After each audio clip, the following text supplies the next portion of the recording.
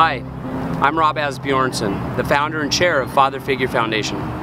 Three years ago, I personally experienced the trauma of a broken court system. I felt hopeless with nowhere to turn when I couldn't pay my child support, not because I didn't want to, because I couldn't.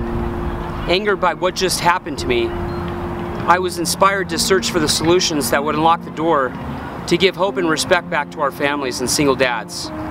By alleviating the economic financial stress, single fathers remain engaged with their children. The United States reports that one in four kids come from broken family homes. With past due child support at an all-time high in 2013, $1.7 billion is past due in Arizona alone. With over 88,000 cases in Maricopa County, we can begin to rescue these single dads one at a time.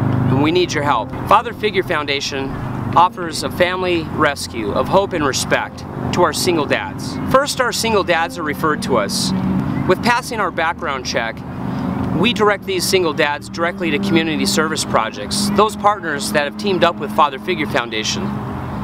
Those credit hours exchange to cash, which Father Figure Foundation pays directly to the Department of Economic Security here in Arizona, where the money goes directly to mom and the kids.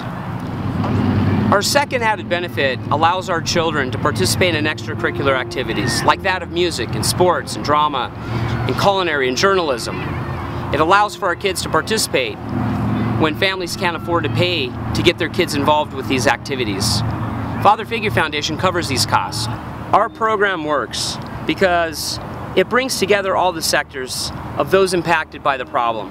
I hope you can join us today and bring in resolve to a broken court system.